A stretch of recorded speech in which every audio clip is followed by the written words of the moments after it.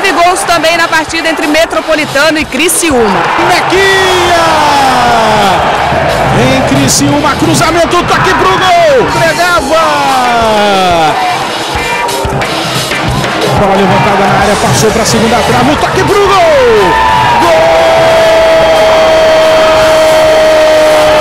Gol! O Criciúma